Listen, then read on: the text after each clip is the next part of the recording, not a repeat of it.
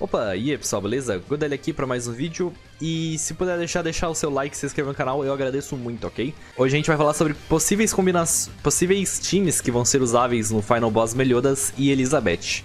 Uma dica é não upem os personagens ainda, tá? Espera como vai se consolidar o meta do Final Boss para depois você upar os seus personagens, ok? Enfim, vamos começar lá. Primeiramente, eu vou mostrar o... algumas informações básicas que a gente tem que saber. É, ambos os inimigos vão ser o melhor das Elizabeth, eles vão ser do atributo de velocidade. Porém, não vai ter vantagem e desvantagem de elemento, tá? Então, dá pra montar a equipe como você desejar. E é isso que a gente precisa saber. Eles são imunes a corrosão, atordoamento e petrificação, ou seja, a congelamento serve, eles vão ser congelados, o que é muito bom porque você consegue dar um dano extremo com gelo level 3 da Merlin ou do Gustav, né? Que são os únicos personagens que conseguem congelar. É, o Meliodas, ele se recupera de debuffs de congelamento no início da cada, de cada rodada. Então só a Elizabeth mesmo que você vai conseguir congelar e ela vai ficar parada ali uma rodada. Mas o Meliodas, é, chegando no turno dele, ele se descongela. E o Meliodas, ele tem aquela passiva do Meliodas azul, né? Que ele não fica... Ele não recebe selamento de ataque quando o medidor de ult está abaixo de 4. Então fiquem espertos nisso, tá? O CC aqui do difícil vai ser 110, 110 mil, extremo 140 mil e inferno 160 mil. Agora vamos para os possíveis personagens que vão ser usáveis, vão estar tá no meta do Final Boss Meliodas e Elizabeth, ok? Vamos começar pelo Starossa. Eu botei ele aqui porque o taunt dele, o full counter, né, é muito roubadinho, é bem chato isso aqui. É, tipo, já na primeira carta ele já ganha taunt, né? Então, é bem bom essa carta aqui. Essa carta de ataque dele também tem um multiplicador, um multiplicador bem legal e ignora a defesa, velho. Então é bem interessante se você tem o Starossa upado aí, dá pra utilizar ele sim no Final Boss, tá? Mas ele não... Acredito eu que ele não seja o, o melhor personagem pra se usar, mas se você não tiver nada melhor, acredito que Starossa vai servir sim. Depois disso, a gente tem o Scanor, e o Scanor tá mais aqui por causa da ult dele. A ult dele é estúpida de boa. Se você tem o Scanner 6/6, ele vai ser muito bom mesmo, por conta do multiplicador, é 1440%, velho. Tipo, é muito mesmo. Então, o Scanner, principalmente por causa da ult, ele vai ser bem usável no Final Boss... No Final Boss Meliodas. Eu vou falar só Meliodas porque Meliodas Elizabeth fica muito comprido. É, essa carta aqui dele também é bem bom por causa que rusha Ultimate. Então se você combar de repente com o Golter, tu vai conseguir upar isso aqui e rushar bastante o Ultimate do Scanor. Então o Scanor ainda assim é uma opção muito viável porque é muito fácil de ele pegar Ultimate, velho. É muito fácil mesmo. E quando ele fica com todas as orbes, né? Quando ele tá com a Ultimate cheia, ele fica imune a qualquer tipo de debuff. E buff também, né? Tem que lembrar disso. Essa carta aqui também é bem boa, o Cruel Sun, porque ele consegue aumentar o dano dele com o Ignite, que é um debuff. Então o Escanônio geral é uma ótima opção para se usar, por conta de tudo isso que eu acabei de falar. Mas os personagens que realmente vão ser os personagens meta lá no topo mesmo vão ser a Jericó e a Derie. Derie. Bem, próximo personagem é a Jericó aqui. Muito provavelmente ela vai estar no meta. Talvez não esteja no top 10, ou talvez sim, dependendo muito do seu RNG. Porque existe a Deriere que consegue se buffar, o que deixa ela infinitamente melhor que a Jericó no sentido de nucar na Ultimate. Então. Então realmente a melhor opção para se usar contra o Final Boss é a Deriere. Porém a Jericó também não é de se menosprezar ela, porque é muito fácil de você deixar ela 6/6 aqui na Ultimate. É um dos primeiros personagens que você vai deixar ela 6/6 junto com o Arthur e o Hauser, porque eles estão na moeda de ouro, então é bem fácil deixar ela 6/6. Imagino que todo mundo já tem ela 6/6. E ela dá muito dano, mano, muito dano mesmo, e ainda mais com uma alta chance de crítico por conta da passiva dela. Então a Jericó realmente é uma ótima opção, e acredito que talvez ela até esteja no top 10, assim, sabe? Se alguém pegar um RNG muito, muito top, muito provavelmente a Jericó consiga até passar a maioria das Derieres que vai ter no campeonato, né? Que, no ranking, no caso, né? E a Deriere também provavelmente vai ser a melhor, a melhor de todas. Aliás, nem, não tem dúvida, mano, não tem dúvida. A Deriere vai ser o melhor personagem a se usar nesse Final Boss por conta da carta de buff e porque muito provavelmente ela já vai vir com equipamento R, tá? se pelo menos seguir o... os outros mandamentos, ela vai chegar, já vai estar com equipamento R e, e vai estralar, velho. Vai estralar tudo. Porque ela se bufa nessa carta aqui.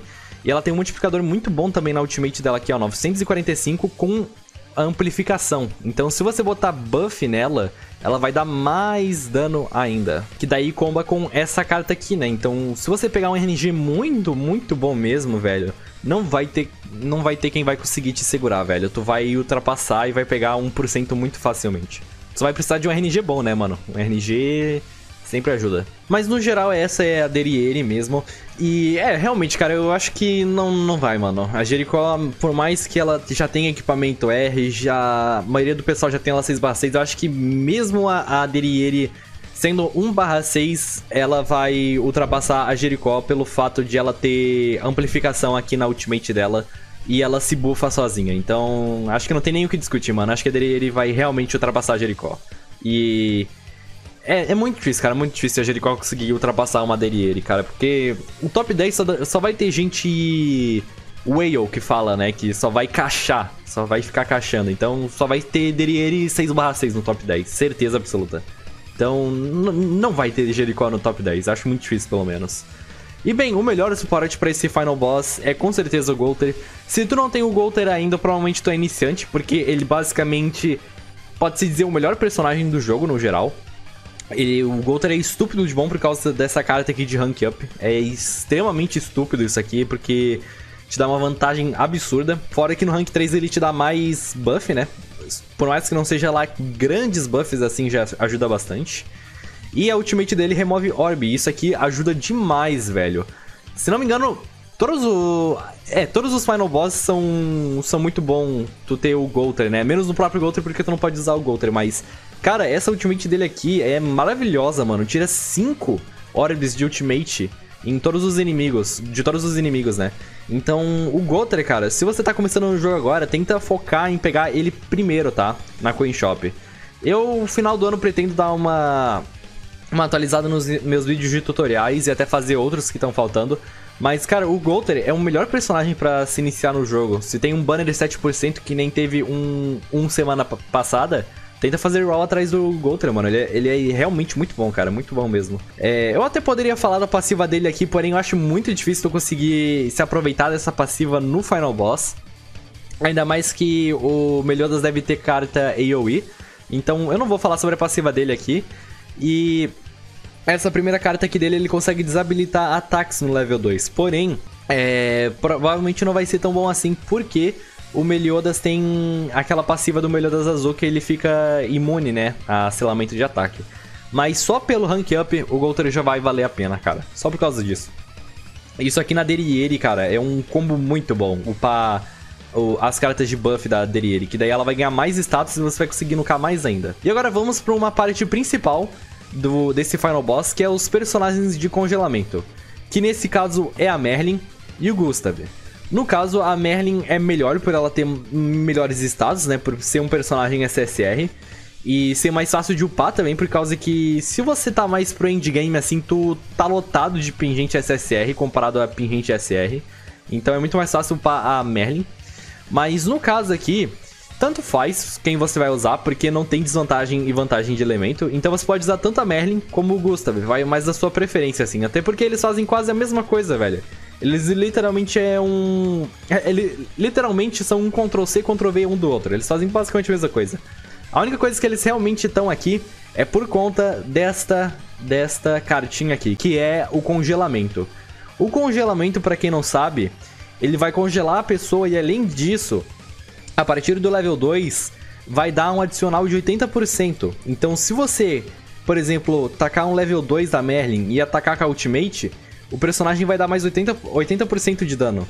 Então, level 3 vai aumentar para 200%. Então, vai, tipo, aumentar muito o dano da, da ultimate da Deriere, por exemplo, se você fizer isso. Se você usar o congelamento level 3, né? Então, a, o melhor RNG possível é você pegar um, um buff level 3 aqui da Deriere, pegar um congelamento da Merlin aqui ou do Gustav level 3 e tacar a ultimate, velho. Isso vai ser o finalizador do, do Final Boss e, o, e vai ser o que vai definir o seu, os seus pontos, né? Vai, vai, vai ser um grande up para os seus pontos finais, né?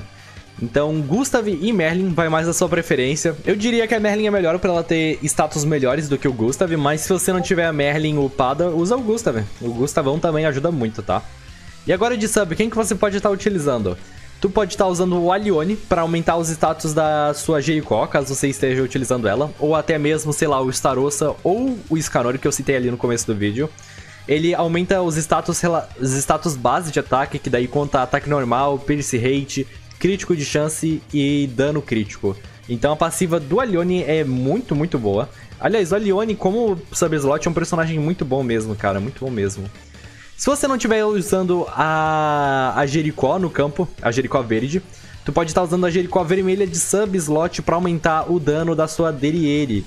Então, muito provavelmente, a maioria do pessoal que vai estar usando a Deriere vai estar usando a Jericó de sub-slot para aumentar o dano da Deriere.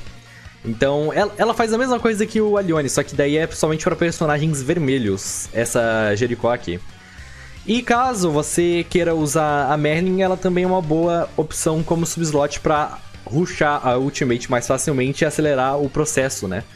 Você completar o final boss com menos turnos. E bem, agora que eu mostrei os personagens que vão ser úteis aqui, né? Vou estar tá mostrando alguns times aqui que vão estar sendo utilizados nesse Final Boss. Aqui estão vários exemplos de time, caso você queira copiar e colar aí no seu, no seu jogo. E ela, essa lista aqui foi feita pelo Aizen, que é, é mod lá do nosso servidor do Discord. Então valeu aí, Aizen. Se você quiser seguir lá no Twitter, tá aqui o arroba dele. E muito obrigado, Aizen. Muito obrigado aí. E bem, é basicamente isso o vídeo. Então aqui os times, caso você queira utilizar, né? Pegar como base. E é isso, se puder deixar o like se inscrever no canal, eu agradeço muito. Muito obrigado a todos, valeu, falou!